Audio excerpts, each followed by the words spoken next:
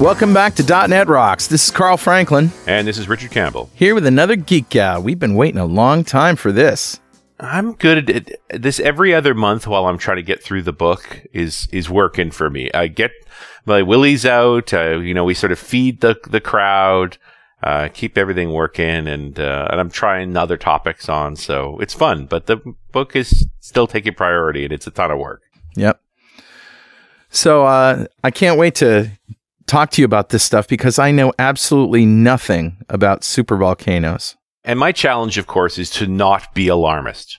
Right, of like course. I, I loathe that sort of alarmist science stuff. yep. I, you got to talk about it practically, and and there's a reason I brought it up at all, just because there's some interesting science going on in this space. But yeah, it's I, I th- do think we need to run down the fundamentals of what volcanoes and and tectonics are all about in the first place, and then we can sort of get into these more extreme scenarios. Well, we'll do that in a minute, but first we have this thing called Better Know Framework. Awesome. Hey man, what do you got? I have an article that I've been sitting on for uh, almost a year now. And uh, this is from iflscience.com. You can guess what the IFL stands for. You can guess what that stands for. Enormous hidden void discovered within the Great Pyramid of Giza using cosmic ray particles. And this is from November of 2017. And let me just read this because it, it you know, uh, it it's funny that volcanoes happen to be your topic. You didn't know about this. I didn't know about the volcanoes, and this is Right. the next one in my list. So the story says. A technique normally used to uncover the plumbing of networks of volcanoes has made an altogether different discovery that of a gigantic hidden void within the Great Pyramid of Giza, one that is at least 4,500 years old. Tantalizingly, at this point in time, no one on Earth has any idea what the void actually is, who exactly built it, what its purpose was, or even how to access it also known as Khufu's pyramid, named after the pharaoh that it was built for.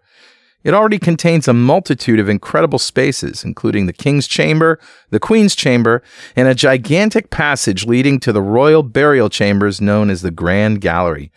This new area was found above the gallery. It's about 30 meters or 98 feet long, perhaps even longer.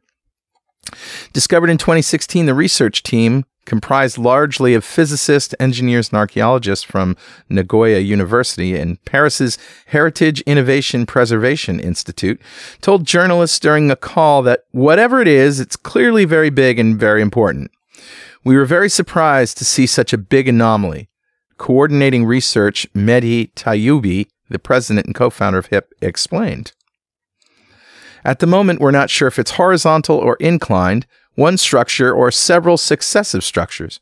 What we are sure of is that it's there, it's impressive, and it was not expected nor predicted by any theory. At present, they're not willing to officially call it a chamber. And here's where the tech comes in. This breathtaking nature study is part of the Scan Pyramids project, one that uses subatomic particles named muons, which we've talked about, We to identify large spaces within an object. Similar to electrons, they're usually produced when cosmic rays slam into the atmosphere. If you place a detector on one side of an object, then blast muons through the object, you can see concealed voids within. The more muons that get through, the larger the void. So that's how Harry Potter did that stupid cloak trick. I'm thinking no. Blasting it with muons, man. There you go. He just had his portable muon generator. Anyway, it goes on with more interesting stuff, and and you know, quite frankly, I haven't uh, looked for any kind of story about this after this particular story, so maybe they actually know more. I just checked their news feed, and no, the last posting is about finding that that particular chamber. So, I mean, the, the the challenge, of course, is that the Egyptian government is very protective of the pyramid. They don't want anyone taking it apart, which is why these non-destructive scans are are popular right now. Yeah, But how are you going to find your way into that chamber? Because that pyramid has been gone over with a fine tooth comb, basically to find any gap. yeah. So if there were any openings in the grand chamber, in the king's chamber, any of the places that could possibly lead to that, they would have found that by now. So Right. the fact that there's a, a another chamber means there probably really is no access to it, or the access has been so well removed that they, they have found no trace of it. It's just very, very cool. It's So- interesting, isn't it? Yeah. And it is funny that it is the technology used to to to map magma chambers. Yep. Because I am absolutely got to talk about magma chambers. So that's what I got. Who's talking to us, Richard? Grabbed a comment off of show 1548, which is the geek out we did back in May about life on other planets. And of course, there's the largest controversy on there is really about the naming of what a planet is. Right. But I'm not going to go there because there was another comment uh, from Jason Brenner. He says, I'm curious about your thoughts about the humans versus robots debate for exploring and performing science in space. The hostile environments on and around Europa and Enceladus suggest that robotic missions are really the only viable choice. However, one of the issues you mentioned in the show was the incredibly long feedback cycle between one mission gathering data and then influencing the scientific build out of the next mission. Right. For locations that are less hostile, would it be better served by having a human there who can make observations and adjust experiments on the fly? Hmm. Are humans still better at doing science in space? Or will robotics reach a point in the near future that allows for more flexibility with science than we can achieve now? Yeah. What do you think? Good question. I don't know. Well, I mean, I would argue that humans are always better at doing science because we have great senses for it and because scientists are really powerful at looking for what most scientific discoveries look like, which is the sort of the, huh, that's weird. not only that, but uh, all science starts with a hunch, you know, like, and you have to have imagination. A classic quote from Albert Einstein imagination is more important than uh, knowledge. And the whole idea there being you have to be able to imagine weird things in order to, uh, you know, think of them as a possible explanation that then needs to be discovered and proved. You know, the problem is never going to look like what you think, you know. Right. My best example would be Harrison Schmitt. The of the 12 men that walked on the moon, only Harrison Schmitt was actually a trained geologist. Hmm. He had helped train the other astronauts to look for unusual rocks. But think about the advantage that he had. He already knew because of his years of training as a geologist what normal rocks look like so you can even pick out what the heck a weird rock would be Right. you need imagination to think up potential weird rocks. All of those, again, derived from hypotheses. Right. But in the end, the most important rock found on the moon of all of those missions was found by Harrison Schmitt. Hmm. It was an unshocked piece of olivine that is one of the best proofs we have that there was volcanic activity on the moon after its formation. Yeah. So, without a doubt, a human set of senses and a human's ability to think about a problem and to look for unusual things provides an incredible advantage to doing and discovering meaningful science. Right. The downside is the tremendous expense Yeah. to keep a human alive up there. Could that rock that Harrison Schmitt had found been found by a robot?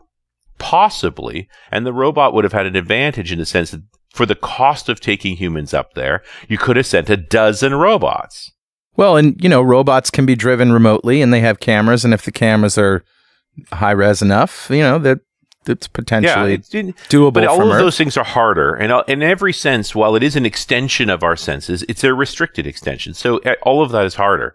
You know, one of the elements of the the moon gateway, this base they want to build in an orbit around the moon, is so that you could put scientists in orbit around the moon, which is easier than putting them on the surface of the moon. We Right. already know how to do that with the space station, Right. and have them operate robots in much closer proximity Yep. so they can afford to follow hunches and and to explore in more detail and and take more chances with a robot that is ultimately serviceable. Yep. You know, they for better or worse, when you put a robot like Curiosity on Mars, you are incredibly cautious with it because there is no option to repair it. Sure. You don't want to take any chances with soft terrain. You know, in the end, Spirit got stranded in some soft sand and made and eventually got at an angle where the solar panels couldn't be properly recharged, and that's how they lost Spirit. And we have a risk right now with the dust storm going on Mars of losing opportunity as well. Although oh, owe us nothing, those rovers are supposed to last 90 days, and opportunity is at 14 years. Yeah. Right. But without a doubt, the strength of humans on site is their much faster ability to react and to explore and to hypothesize and experiment. but it, at what in tremendous cost. It's just to consider. I love the prospect of sending a human onto the surface of Europa, but that means keeping them alive for a decade or more for Right. a round trip. Right. And the radiation environment around Jupiter is no fooling. Like that's a hard problem too. Do I think ultimately we'd get more science value from it? That's a tougher problem because you think of the number of missions we could fly to Europa with robotics versus the number of missions for the same amount of money that we'd take one mission with humans. Right. Interesting. So that that's sort of the battle in my mind for that whole thing. It's just Mm. that it's a cost thing, but the capability is really. You know, humans are always going to be better at this stuff. But Jason, I really appreciate your comment, and a copy of Music to Code By is on its way to you. And if you'd like a copy of Music to Code By, write a comment on the website at .netrocks.com or via any of our social media because we publish every show to Facebook and Google Plus. And if you comment there and we read it on the show, we'll send you a copy of Music to Code By. And definitely follow us on Twitter. He's at Rich Campbell. I'm at Carl Franklin. Send us a tweet. We scan them for cavities. Good one with our muon emitters. Yes, my portable Like a muon emitter. muon emitter. I can see through your clothes Nice. someday, maybe. Someday, maybe not. Maybe Who not. do that? Hopefully not. All right. Well, let's actually talk about the fundamentals of volcanoes and how they Okay. work. Well, and it sort of ties into our last geek out, the life on other planets, is I did talk about how the Earth has this very active core that is maintaining a, ma- a massive magnetic field relative to its size Right? that uh, protects our atmosphere from being stripped by the solar wind. One of Yep. the consequences of that is that our crust of the planet is relatively unstable. It cracks on a regular basis. So they that molten core, this material we call magma, is moving around beneath the crust of the planet. And it sometimes pools into areas, forming what's called a magma chamber. Hmm. And as that magma chamber builds in pressure, it presses against the crust until it causes cracks. Is that why I've been falling down a lot lately? Well, yeah, that, that, I think those are those may be cracks, but they're more in your head than anything else. I mean, it's a, um, one of the reasons to bring this up now is that we've had a, a bunch of spectacular eruptions, uh, and Kilauea in Hawaii is a is a fine example of that. I mean, Right. Kilauea has been erupting since the 1980s, Hmm. Um, but this past few months, it's sort of stepped up its game, but it stepped up its game in a very non-violent way. Although it's been hard on the hundreds of homes it's destroyed, it hasn't been blasting huge amounts of gas into the air or being really explosive. Literally, fissures have opened up. Dozens of fissures have opened up across the southern part of the Big Island. And lava, magma, until it leaves the fissure, in which case it becomes lava, has been pouring out. Right? So, you know, part of the understanding volcanoes is recognizing why, you know, often people think of volcanoes as that great big cone. And yet here is this massive volcano in Kilauea and really not forming cones. Hmm. And the reason for that is the nature of the composition of the lava involved.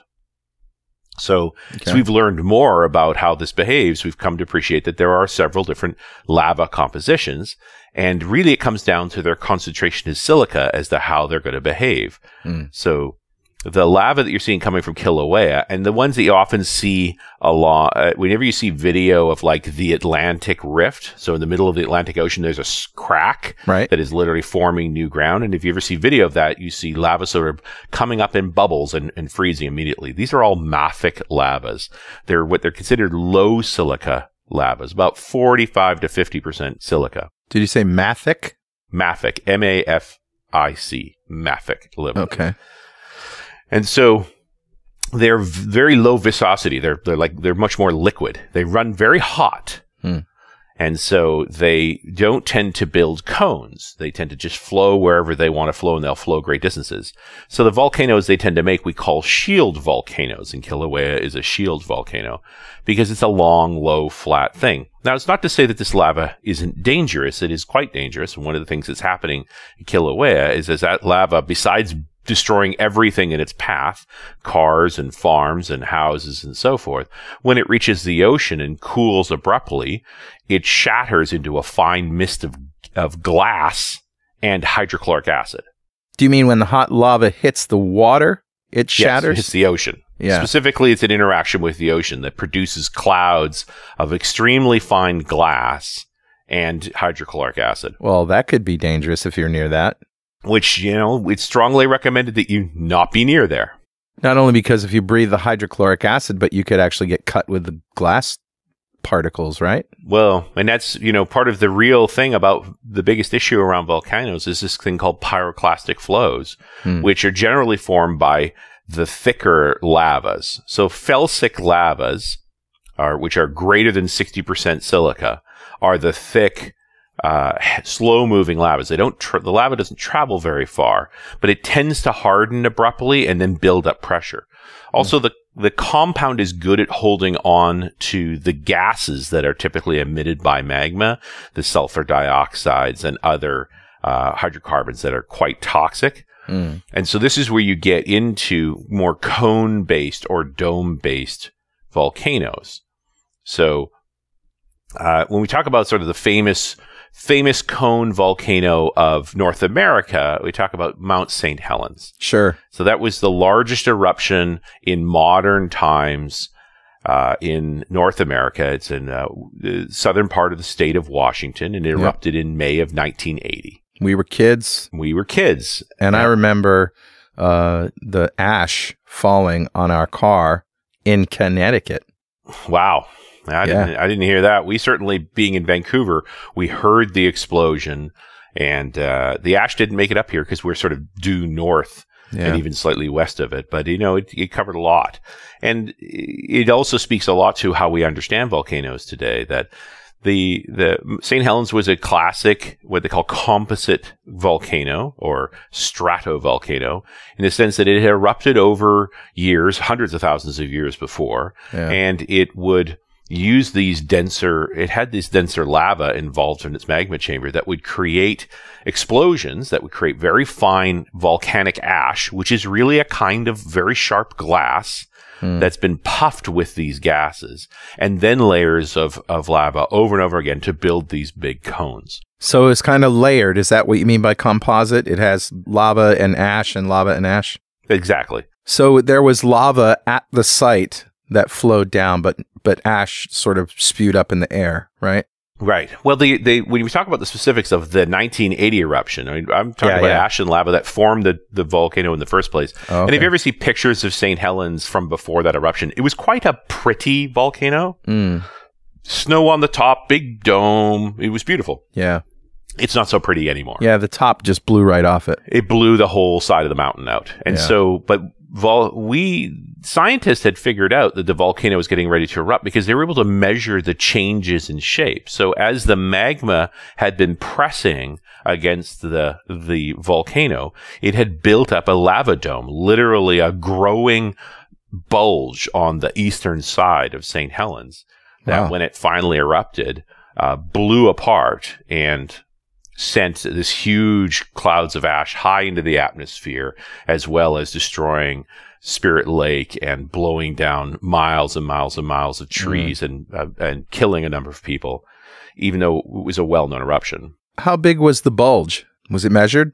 It was it's absolutely measurable. It's measurable in feet, not hundreds of feet. But right. you know, one of the reasons that we're getting better and better at predicting volcanoes these days is that we've now got satellites that map the surface of the earth in close enough detail they can literally see just a few inches of movement. That's so cool. And so that's sort of your indicator that the magma is pressing and, and building up pressure, but it doesn't automatically mean an eruption either. So, Right. uh, so, but I, I think it's important to understand that there's these distinctions between these lavas that ultimately lead to the kinds of eruptions you're going to have. Right. And let's uh, hold it right there while we hear this important message. Hey, Carl here to say that Music to Code By is now an app called Music to Flow By. Now you can listen to the tracks on your phone with offline capability.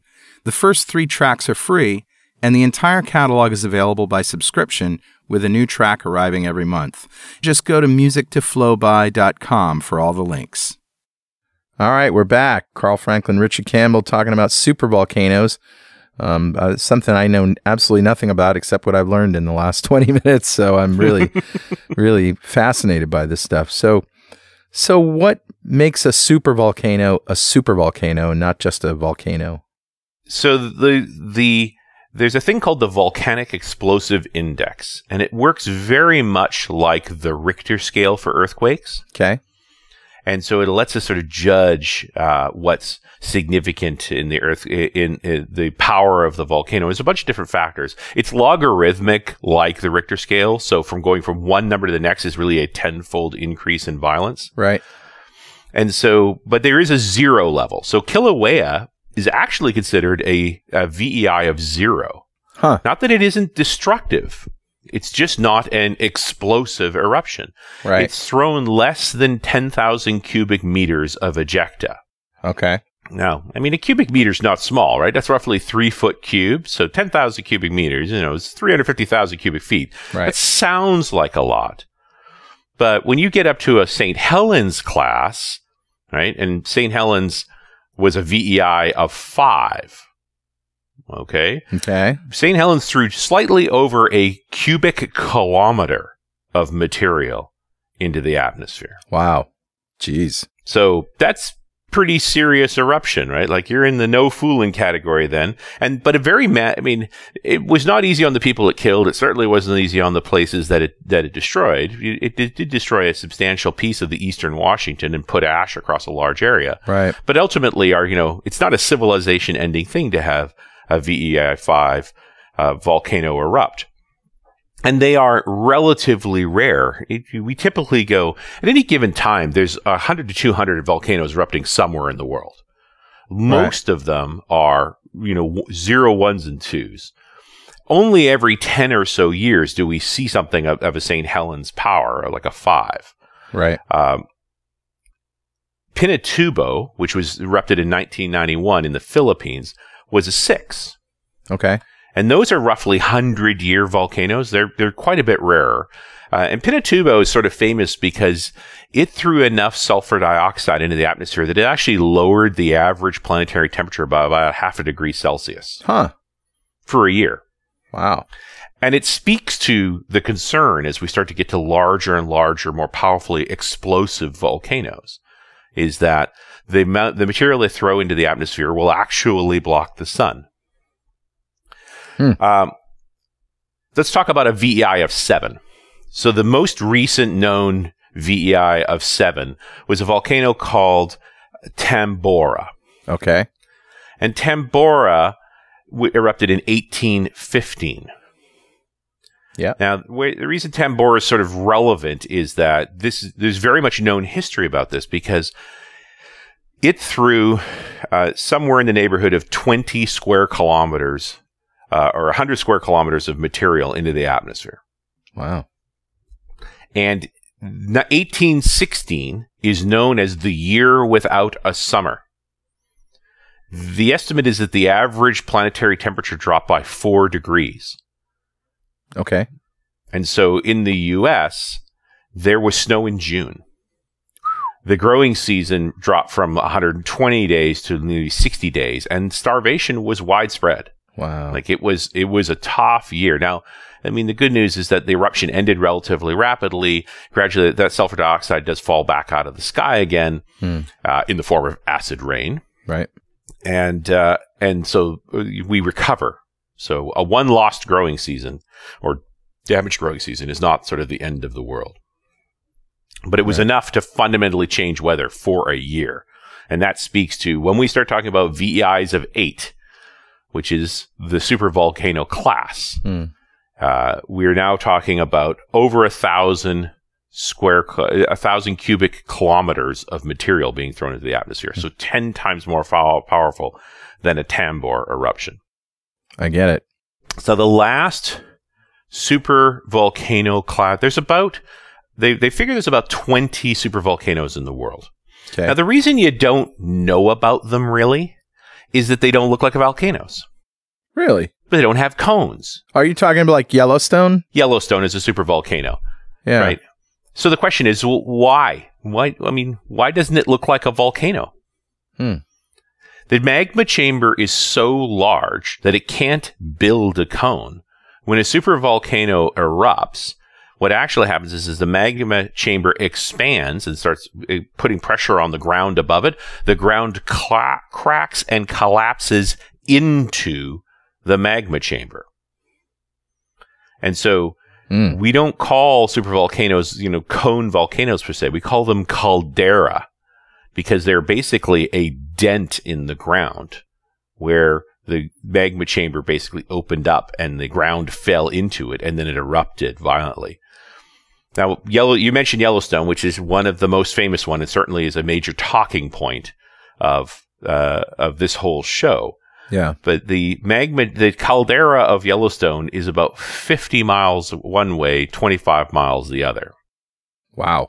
So it's just big. Huge. It's hard to get your head around how big we're talking.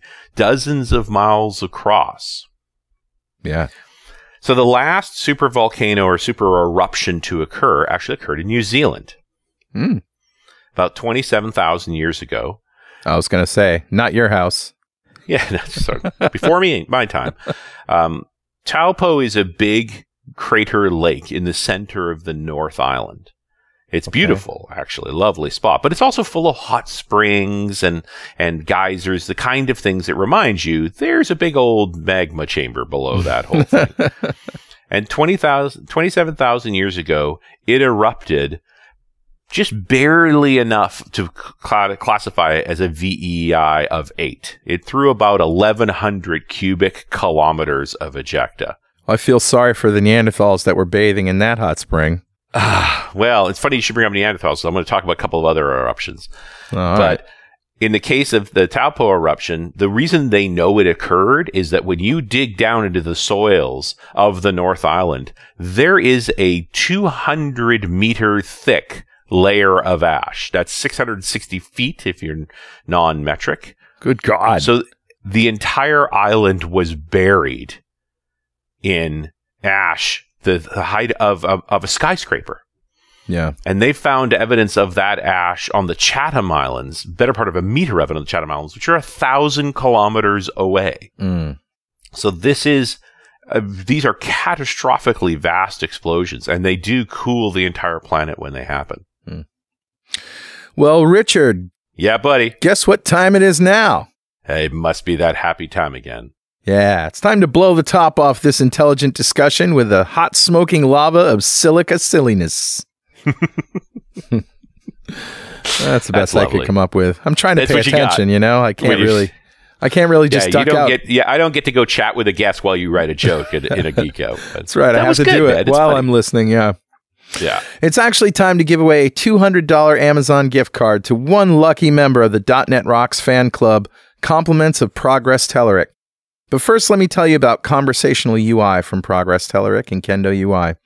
Conversational UI are chatbot framework agnostic user interface controls and components that enable .NET and JavaScript developers to create modern conversational chatbot experiences in their web, mobile, and desktop applications.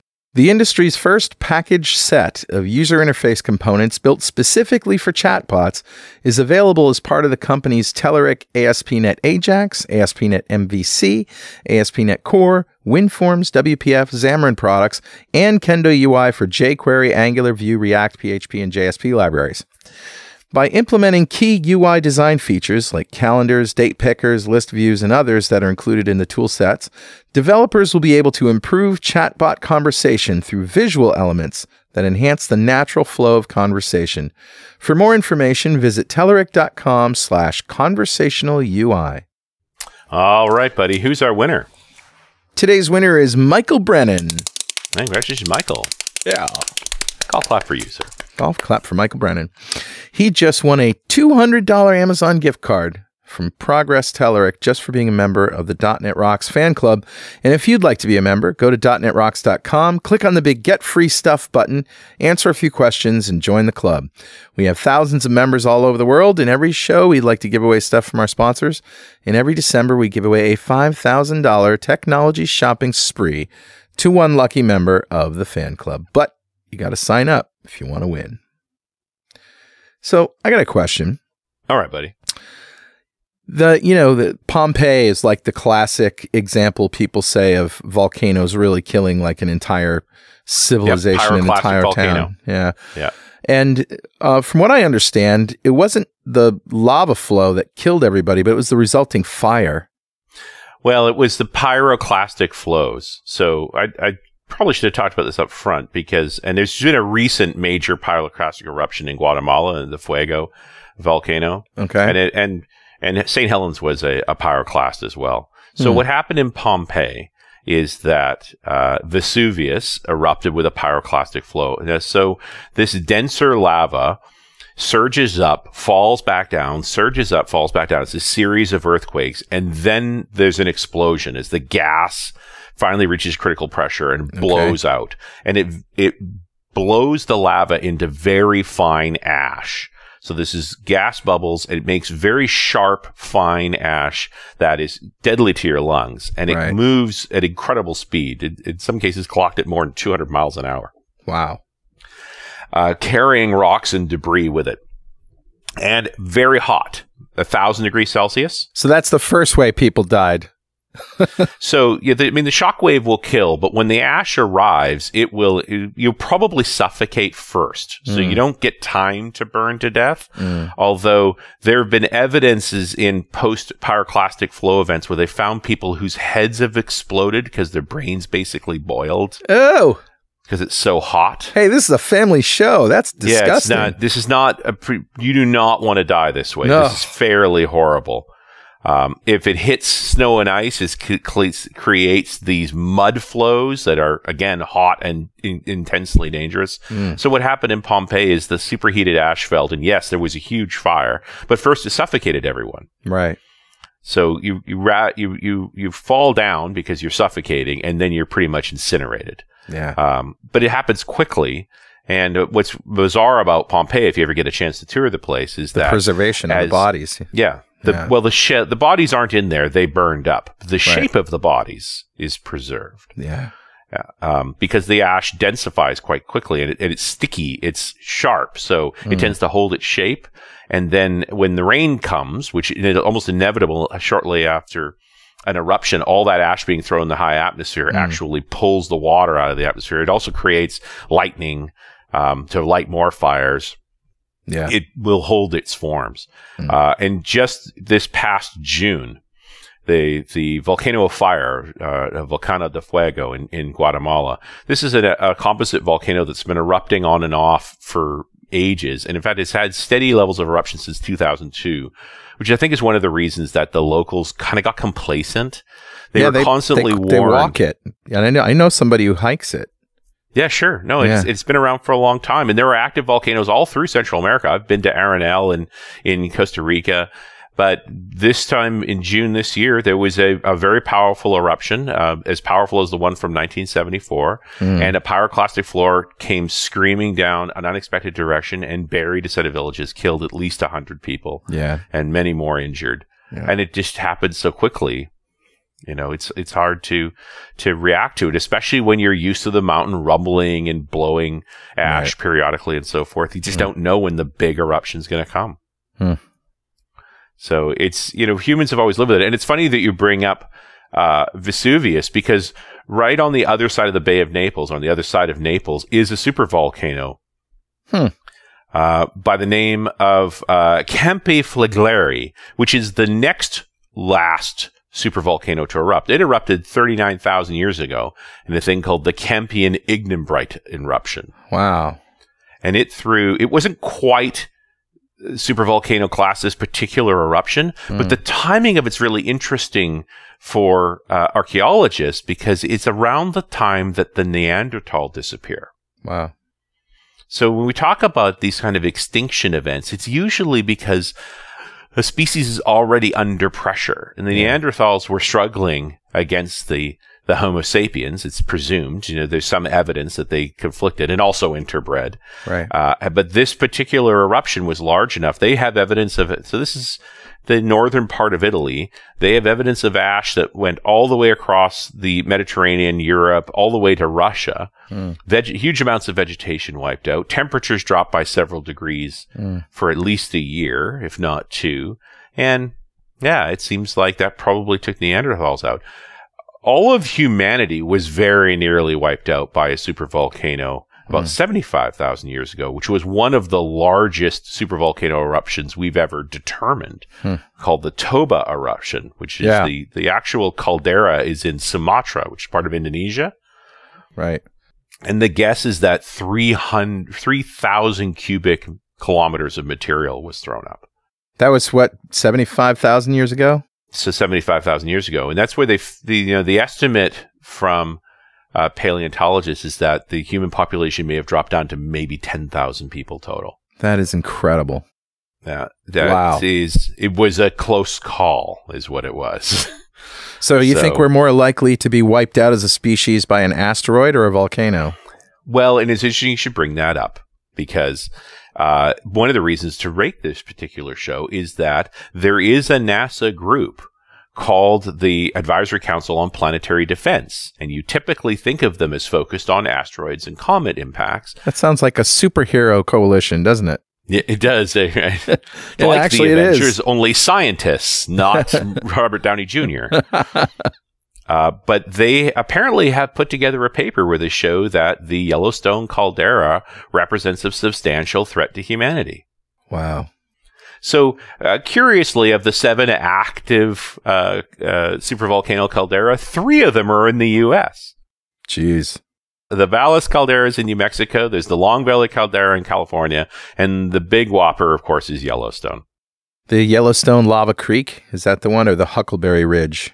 I'm looking at a chart. Well, Huckleberry Ridge was w- was one of the eruptions. So Yellowstone seems to be going off roughly every six hundred thousand years, give or take hundred thousand years.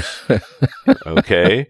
Um, so there's been three super eruptions in the past 2.1 million years. So if you do the math, you'll figure out that we're about 600,000 years since the last one. Hmm. Uh, it, the caldera obviously is massive. If you talk about the Huckleberry Ridge tuff e- eruption, this is the first one that was found by geologists where they sort of figured out that this is an eruption actually from Yellowstone. And it covered, it, it laid down a circle of ash from Manitoba in Canada down into Mexico and from California to Illinois. Jeez. So two thirds of continental U.S. covered in ash. But it was a couple million years ago, right? Uh, this was a couple million years ago, right?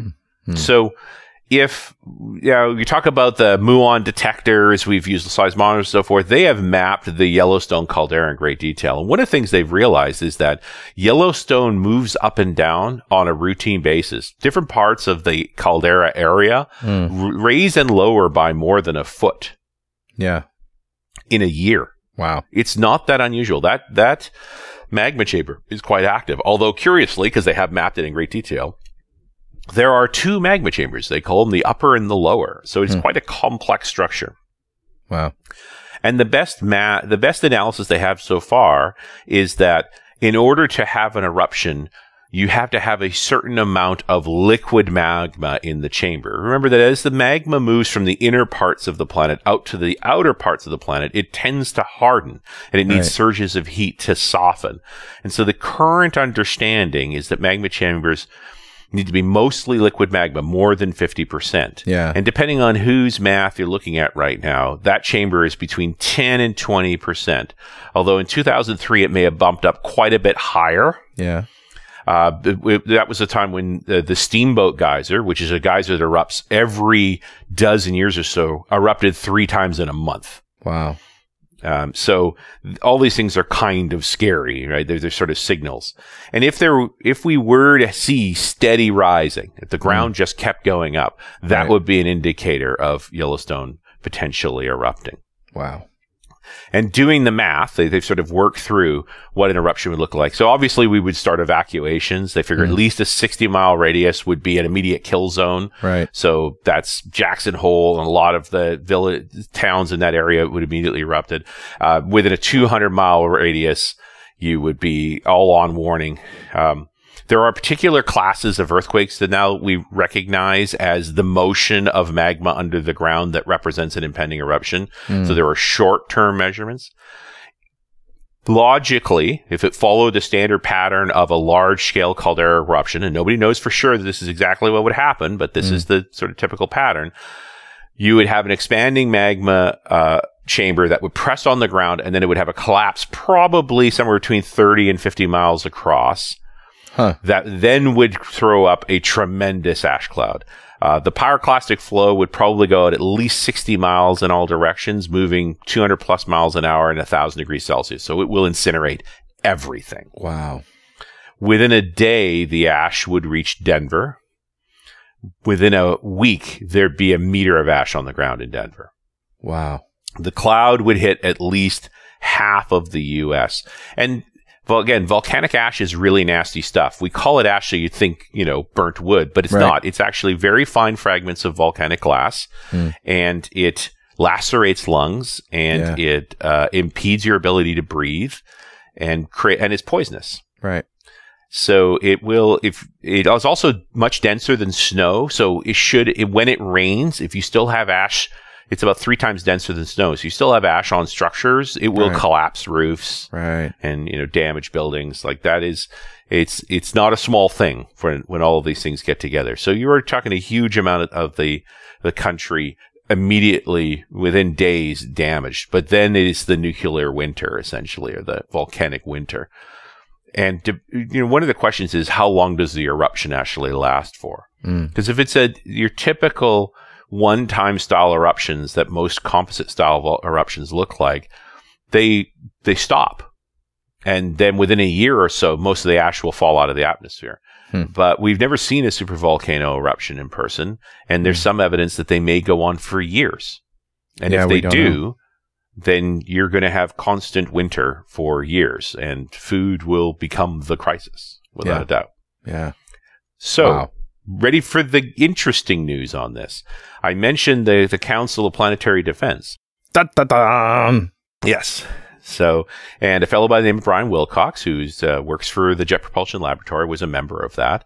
And he's one of the ones who sort of brought up the fact that supervolcanoes appear to be a larger threat statistically than asteroids are. And understanding that these gigantic magma chambers, and admittedly in supervolcanoes they are very, very large, need a certain amount of liquid magma to actually cause an eruption, there's an argument that we could cool them. Now, the planet cools the Yellowstone caldera all of the time. That's what geysers are. Geysers are water that leaks down into the ground, gets heated by the, the, the rock down there above the magma chamber, and then blasts back up at boiling temperatures where it's cooled by the atmosphere, falls back down, and cools it down again. So they figure about 60% of the heat from that magma chamber leaks into the atmosphere in the form of that water cycle and general radiation Wow. uh, uh, circulation effects. wow. So NASA's proposal would be to bore holes around the edge of the magma chamber and pump water down to keep it solid enough that it cannot erupt. it's kind of like a pressure release valve. Well, think of it more like geothermal power because you're going to superheat that water. It's going to come flying back up those pipes and you could spin turbines with it. Wow. Nice. So their their estimate is that for about 3.5 billion dollars, they could build a, a couple of gigawatt power plants at uh, generating electricity, quite low cost, by the way.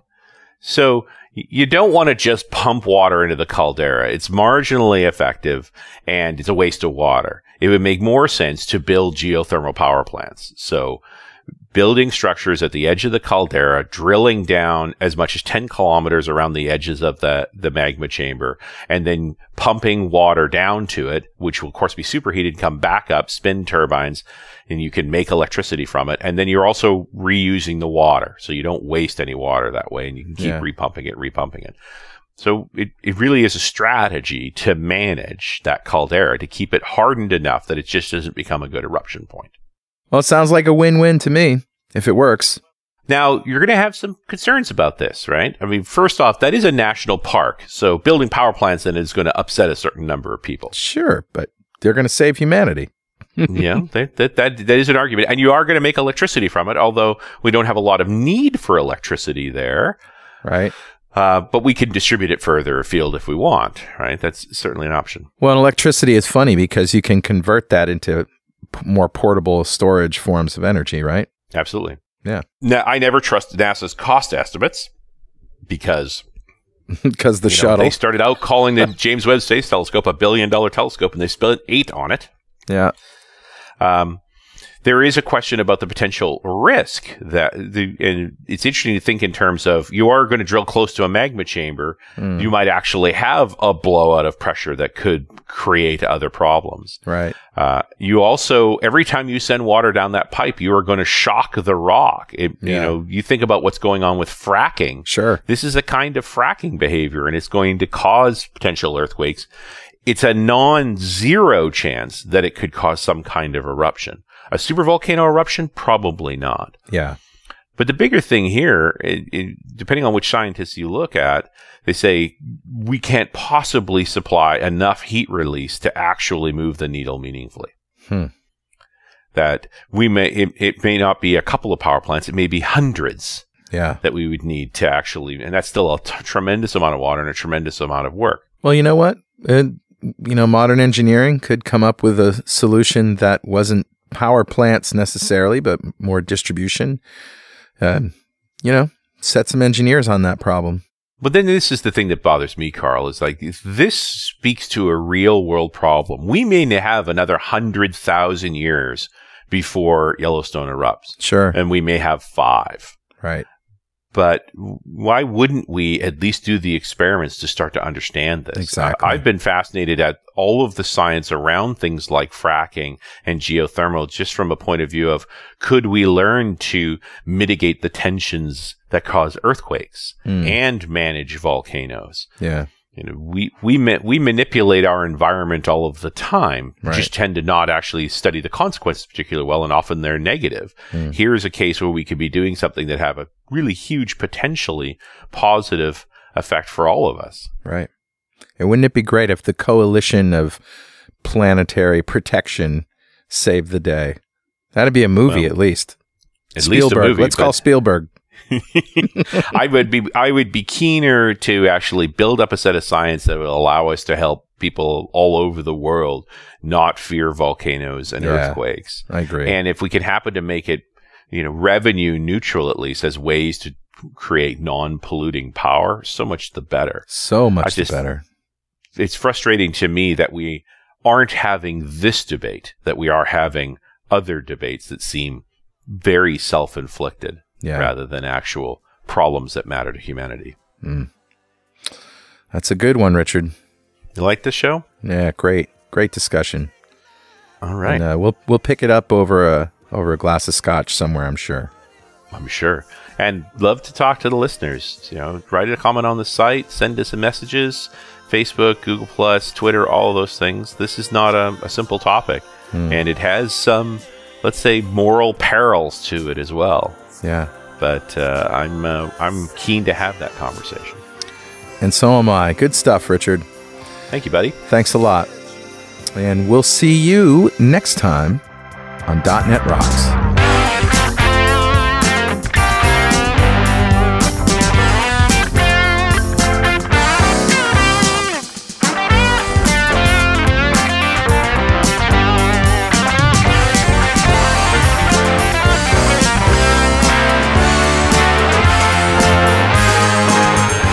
.NET Rocks is brought to you by Franklins.Net and produced by Pwop Studios, a full-service audio, video, and post-production facility located physically in New London, Connecticut, and of course in the cloud. Online at pwop.com. Visit our website at dotnetrocks.com for RSS feeds, downloads, mobile apps, comments, and access to the full archives going back to show number one, recorded in September 2002. And make sure you check out our sponsors, they keep us in business.